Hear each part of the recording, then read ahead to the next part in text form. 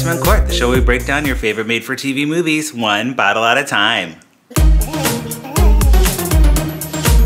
I'm your host, Patrick Serrano, and today we're talking about Deadly Due Date. Deadly Due Date stars Ashlyn Yennie, Ella Cannon, Philip Boyd, and Diane Robin. On the show, we either pour it up, which means yes, or put a cork in it, which means no, thank you.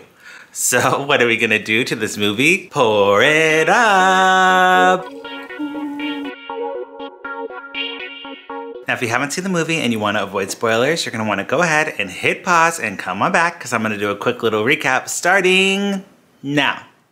The movie begins with a pregnant Claire running through the woods from a hot guy. Hot like sweaty, not hot like attractive. They get into an altercation that's pretty violent and she beats him with a rock. The man was the birth father of her baby and he is dead. Bill and Rachel are an attractive couple struggling to have a baby. They go to a high school reunion and run into Claire, who went to high school with Bill and had slash has a unhealthy obsession with him, which I get. The man is a hunk. When Rachel sees Claire is pregnant, she gets upset and Claire consoles her. They offer Claire a ride home to make up for Rachel's outburst, and Claire is expecting to be invited to their house. You love me, Bill. How can you not see this? You're supposed to take me with you! Hey, shut up in there! You shut up! When she isn't, she throws herself into a wall and gets admitted to the hospital. She calls Bill in the middle of the night to pick her up and flirts with him with a cold compress. That is confidence. Rachel and Bill suggest they adopt Claire's baby, and Claire agrees. She sets up a meeting with the adoption agency and intentionally tells Rachel the wrong time so she will look bad. Bill's overbearing mother, Alice, shows up and demands a baby shower while subtly shading everyone. You must be the pregnant classmate who's led to this unique situation. You know, most people just call it adoption. Oh, most people don't have the woman living with them, even if she is an old friend. That I would call unique. Then at the shower, when Rachel starts a kitchen fire, Alice and her daughter in law get into a bitch fest. It was an accident, okay? How do you expect to be a mother when you're this irresponsible? Mom. Stay out of it. I didn't want this party. You did. But you did nothing to help. It was all Rachel do this, Rachel do that. This tastes like it's from a gas station. Do you know what I have had enough of? You. Rach. No. We would be better off in our lives without you in it. I'm sorry that I want the best for my son. Which I guess he'll never get from you. You bitch. What did you just call me? Alice cools off with a walk and catches Claire with the baby daddy, who should be dead. Alice looks into his background and tells Claire she knows about her past. It is a big mistake because Claire kills her brutally.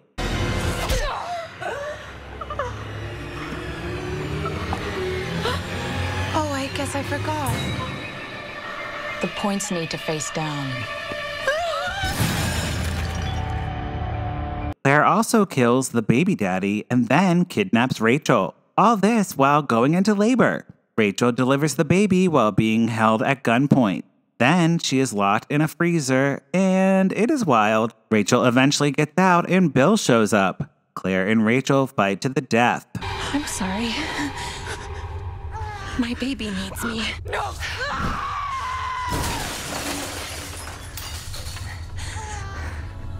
One year later, Bill and Rachel raise the baby and are happy.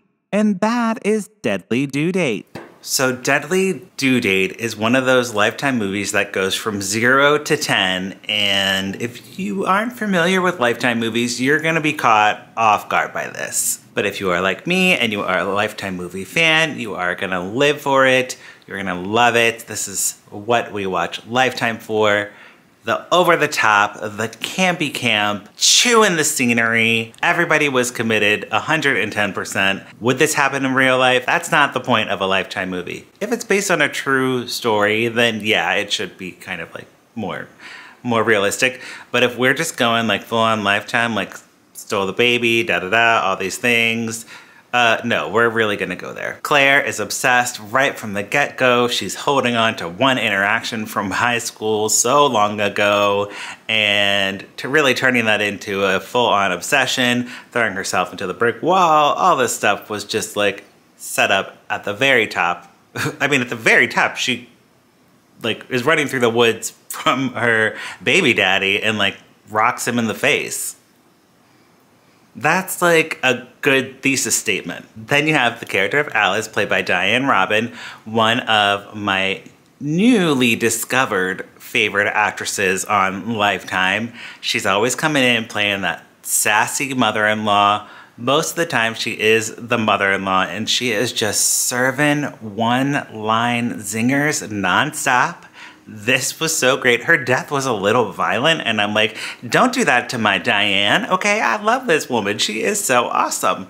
We actually are friends on on um, Instagram, and she has over a hundred credits, a hundred movie credits on IMDb. And I know that this woman has done some theater because you are not that fabulous without some theater training or stage experience. And now it is time for the Minority Report, the segment where we talk about representation in TV movies and why it matters. Of course, we have the best friend, Lindsay, played by Brianna Butler, Caesar Chan Latte as Detective Sanchez, Dana Hanna as Detective Morton, Ileana Isabella Perez as a princess, aka my dream role, Anara Janae Rutledge Rodriguez as Samantha, and that's it. So overall, we had some good characters. Of course, you gotta get the POC detectives in there always uh, staple in Lifetime. The daughter was killing me, calling Claire a fat bubble, a fat lady when she's a pregnant lady. Such a kid thing to do. So rude, so rude. And I think that's it for today's episode. If you want more Lifetime Uncorked,